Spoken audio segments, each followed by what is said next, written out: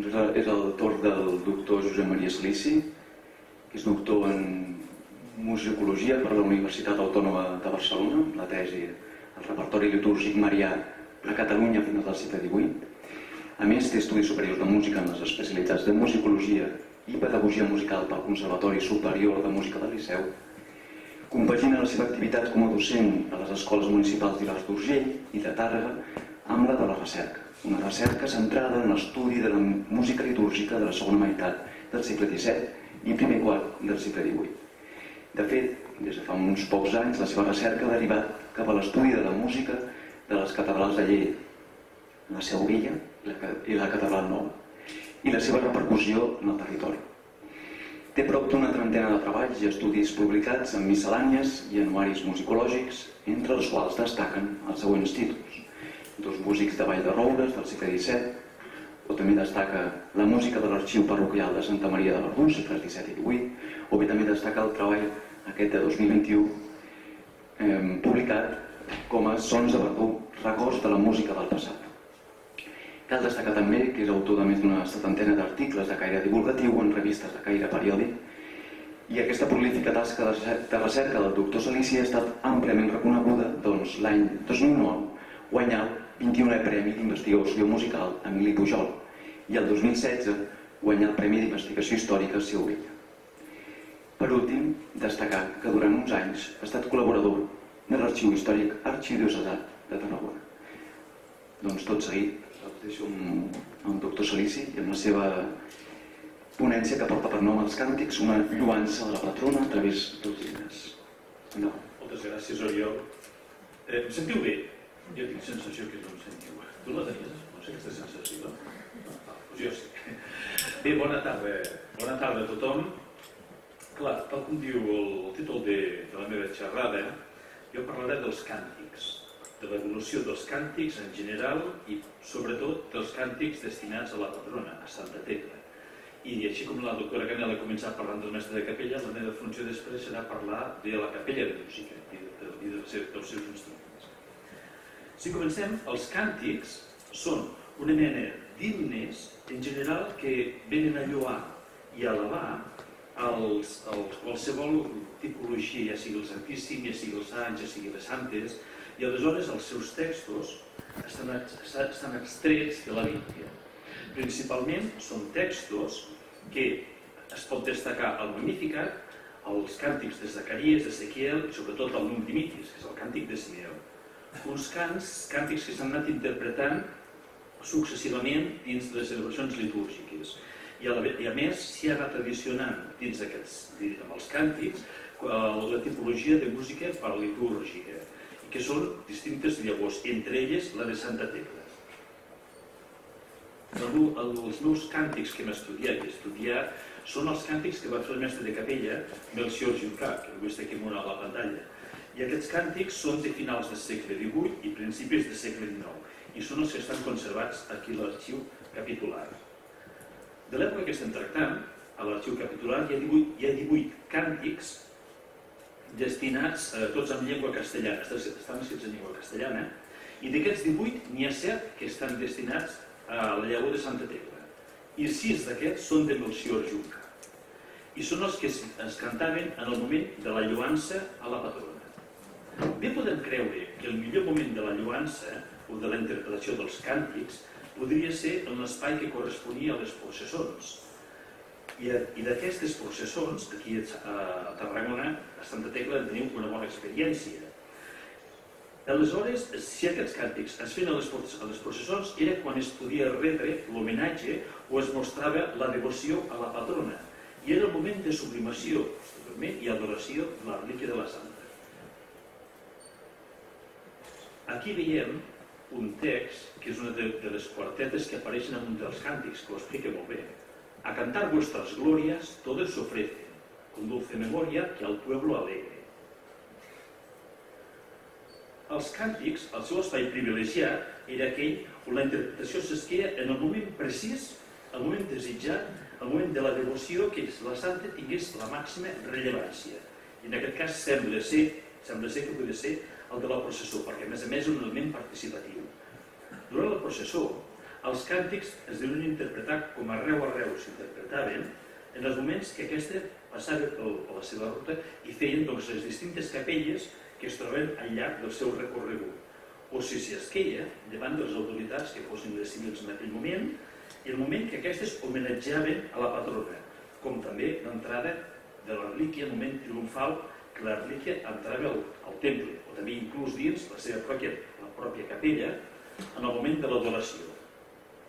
En les magnes processons calia sumar-hi la diversitat d'elements que la colorien, com les banderes, els estandards, els diversos gremis, que hi participaven l'enramada, els domassos, la lluminària, la magnificència i la pompa, els vestuaris dels religiosos, sempre coberts amb les riques capes pluvials, la rellevància del talent per damunt de tot, com també el seguici d'autoritats i de prohoms de la pròpia ciutat. En definitiva, era un acte de magnificència. A la vegada, aquestes processons eren un element de complicitat dels propis fidels, perquè aquests mostraven la seva devoció, no només participant-hi directament, sinó també com a espectadors estàtics, en els carrers, en els balcons, en les finestres, darrere dels draps que vestien els seus, les seves baranes, i per tant tots demostraven la seva fe i la seva devoció a la Santa Patrona. En el cas concret de Tarragona, la situació festivo-devocional s'exacerbava amb la diversitat de sons, de colors i el moviment que conformava i que conforma encara tot el seguici, arribant al seu punt àlgid quan el braç torna a casa, la catedral, i és adorada el moment que es podia reafirmar amb els cants, els càntics, aquesta devoció a la santa. Per tant, la interpretació dels càntics es podia escaure en els moments d'expectació musical a l'abast del poble, deixant de banda les grans misses solemnes i les hores canòniques de la jornada. Aquí veiem una particel·la d'un dels càntics de la part del tiple, i aquests versets ho resumeixen, ho resumeixen clarament. Gózate, Villa Dichosa, en esta fiesta sagrada, y en tu alegría extremada ostenta en pompa lustrosa. Aquest és un clar exemple de la rellevància i el moment en què els càntics formaven una part activa de la cerimònia a la devoció a Santa Tecla. Trobem amb el senyor Juncà, l'autor dels càntics estudiats, com a mestre de capella a la catedral de Tarragona entre 1789 i 1806, any en què va renunciar al càrrec, però sembla ser que seguia estant al servei de la capella fins al moment de la seva mort. La seva producció musical, hem vist abans que tenia 34 villancets, 4 destinats a Santa Tecla, la seva producció musical és litúrgica i paralitúrgica i és molt àmplia. I dins l'apartat teòric en destaca un tractat que és la melopea desconocida. La música de Juncà, a grans trets, ens mostra que està a cavall entre el que seria el final, final, final, les escorrualles del darrer barroc hispànic i el corrent classicista centre-europeu que ja s'havia instaurat a Catalunya. Dels càntics de Juncà conservats a Santa Tecla en tenim i aquí vull alegres, con bien templada armonía, clamen, suenen las voces, venid hoy, alegraos, i vuestros heroicos triunfos, tots aquests escrits a vuit veus. A més, n'hi ha un altre que està a quatre veus, que és Gózate, Villa Dichosa. Tots aquests càntics, a més de les veus que s'especifiquen, també tenien la seva part d'acompanyament instrumental. Desconeixem l'autoria literària dels càntics, però molt probablement que deurien estar creats pel propi mestre de capella o per algun literat que fos proper a ell o proper a la seu i que fos ben coneixedor de les possibilitats de creació musical que aquests textos podien arribar a tenir eren textos pensats explícitament per càntics. Juncà sovint presenta els textos dels càntics en sis estrofes, en sis cobles, i amb la seva consegüent resposta. Té un càntic que és a dos cobles només. Tant la versificació com la mètrica dels textos es troba ben variada. Sovint és una quarteta heptasilàbica, només sovint, no sempre, de la qual es repeteixen dos o tres cops els dos darrers versos, que justament són on es sol manifestar els aspectes positivistes de la devoció a la protomàrtir. Aquesta repetició del text tenia la clara funció de realçar la lloança i a la vegada penetrar en la memòria dels fidels, donant així una funció catequètica a l'obra. Generalment, el text dels poemes es presenta un doble gaire. Per un costat es mostra com una lloança a la santa, manifestant-se l'abast protector del seu braç, i per l'altre exposa la devoció dels fidels envers la patrona. Per tant, tots els càntics presenten l'aspecte hipnòdic y devocional y de lloança, tal com es veu aquí en aquesta copla. Resuena por los aires la voz de aclamación, pues que Dios el brazo está a nuestro favor. Hem dit que cinc dels sis càntics de Melcior Juncà estan escrits a vuit veus. Això és en dos blocs sonors, en dos cors, amb les parts de tiple, alto, tenor i baix per a cada cor. El sisè càntic i vist que només era quatre veus, amb les mateixes respectives veus. En el fons, els càntics, encara que s'especifiqui que són a vuit veus, en realitat estan escrites a quatre veus reals, perquè se suplementaven, se suplementaven, es posaven una damunt de l'altra, de les veus, quan es cantava en el moment de la resposta. El primer cor sempre interpreta les coples a solo o a dolor. I el segon cor intervé quan es fa el tuti quan es fa el ripieno o un cor de farciment que el que fa és doblar el primer cor, per tal d'aconseguir una textura sonora ben diferenciada. Aquí veiem la distribució de les veus per les coples. Pel que fa al tiple a solo, sempre es troba en la copla primera, tercera i cinquena, les que són les coples senars. I el duo de alto en baix o alto en tenor o el duet de tenor baix sempre correspon a les coples parelles. Aquesta pràctica del tiple versus les veus més greus és destacable, ja que ens mostra una clara oposició sonora entre una veu aguda, el tiple, enfront de dues de més greus. Per l'auditori del moment, els fidels, la combinació sonora de les veus bé deuria mostrar-se prou atractiva, perquè que es preveia en quin ordre se succeirien les coples, produint així una participació mental per part de l'auditori. Aquest fet implica aquesta interactivitat mental, ja que el fidel arriba a preveure com es durà a terme aquesta interpretació musical. És un recurs que l'autor podia utilitzar per tal de mantenir l'atenció dels fidels. Per altra banda, els instruments que tots ells participen a la resposta a 8 veus es mostren més sobris amb les coples, deixant que ressalti sempre la veu del cantor per damunt de l'acompanyament instrumental que és més aviat delicat.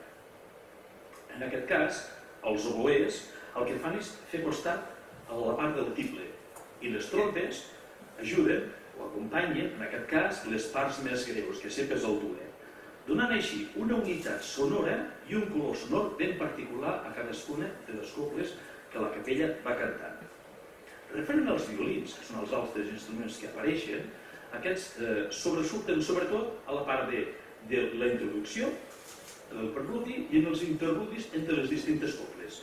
Però quan canten els cantors, passen a tenir un paper molt més, molt més delicat.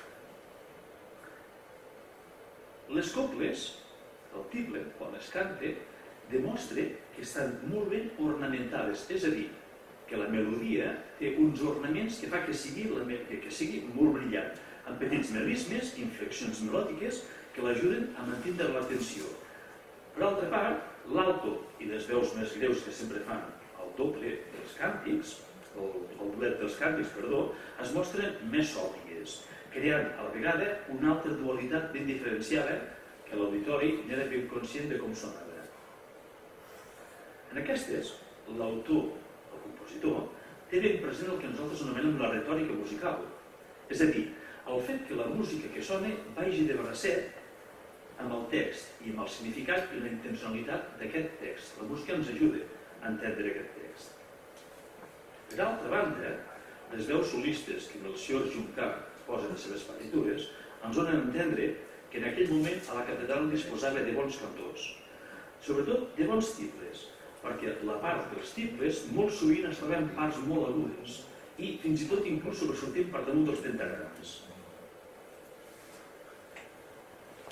Mentre que el cant pla o el cant gregorià el cantaven els religiosos, els capitulars i preveres al candidat del cor, la capella de música era l'encarregada era l'encarregada d'executar la música polifònica a la catedral. Això seria doncs, les misses i les parts de l'ofici, com ara els salms, les antífones, els invitatoris, els magnífics, els tedeums, els motets, els sponsoris, etc. A la vegada, a la capella de música li pertocava la interpretació de la música per litúrgica, com és els villancicos, villancets, els goig i els càntics. El cor de la capella s'organitzava sempre amb el que són els nens tipus, també anomenats sisets, que molt sovint no eren sis, solien ser menys moltes vegades. Les parts dels altos, dels contralts, o bé el feien cantors amb veu de falset que entraven per oposició, o bé eren els nois que havien estat a la capella, que havien canviat la veu i que es mantenia dintre d'aquesta. El tenor era una veu important i característica de la capella, i aquest sovint entrava també per oposició. La part del baix de la capella de música, eh, abans de, de l'època que estem tractant, era una part no massa acceptada. Llavors el suplia un instrument que solia ser un baixó. Però en aquesta època el baix pren un cert relleu, és una veu característica. I el fan els xantres i els xantres que formaven part del cor de, de, dels religiosos capitulars. Pel que respecta als instruments, les partitures dels càntics de Melcior Juncà solen estar escrites per a dos oboès, dues trompes, alguna vegada un fagot i alguna vegada s'hi troben dues flautes. En els instruments de corda s'hi troben tan sols dos violins. La part general que acompanyava el baix continu que acompanyava tota l'obra era, solia ser interpretada com sempre, no s'especifica, però possiblement era interpretada per l'orgue, o el violó, o el baixó, inclús l'arpa Justament a la catedral de Tarragona, en un acte de l'any 1762, s'especifica que hi ha dos cors a la catedral i el baix d'un cor el realitza el baixó, mentre que el baix de l'altre cor el realitza l'arpa, situant-se un instrument a cadascun dels cors. Aquí veiem una imatge força interessant. Són uns esgrafiats que hi ha a l'església de Sant Celoni. El sant del mig no és Sant Celoni, és Sant Martí, el titular de la parròquia. Justament, aquests esgrafiats són de l'any 1762, el mateix any que veiem, que hem dit que hi havia l'acte capitular que s'esmentava que hi havia els dos cors. A la imatge es veu clarament com hi ha, tant a l'esquerra com a la dreta, de, de l'escultura central, hi ha dos blocs musicals ben diferenciats, dos tribunes amb dos tipologies musicals ben diferenciades. Si passem a mirar-ne una, la de l'esquerra, veiem que a la dreta de la imatge hi ha l'arpista. Aquest solia fer la part de l'acompanyament del baix continu d'aquest cor. I a la seva esquerra hi ha dos violins, podria ser una, una xirimia o un oboè, no queda prou clar, i un quart violí. Seria una referència a quatre de les veus que podrien participar en aquest cor. A l'altre costat hi trobem que hi ha un, bio, un violó fent la part del baix i a la seva dreta hi ha quatre instruments més que són diferents. El primer sembla que sigui, podries pensar un baixó, però més aviat és un fagot de la seva estilització del tub.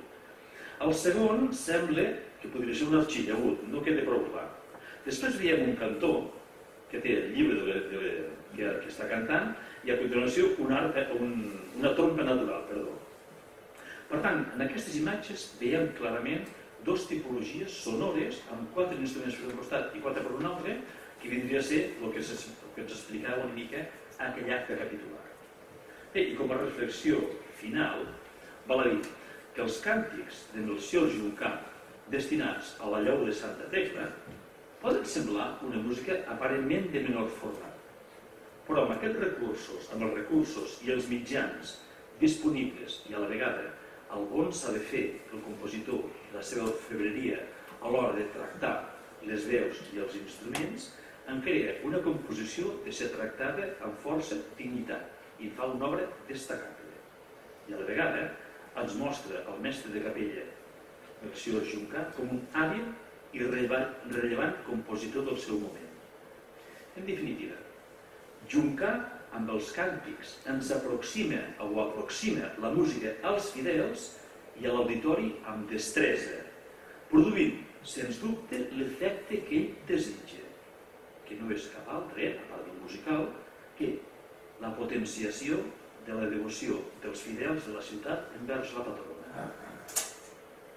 I acabo amb aquest text d'una cobla que diu Ciertamente es Tarragona ilustre por su nobleza, pero mucho más ilustre por el brazo que conserva. Moltes gràcies.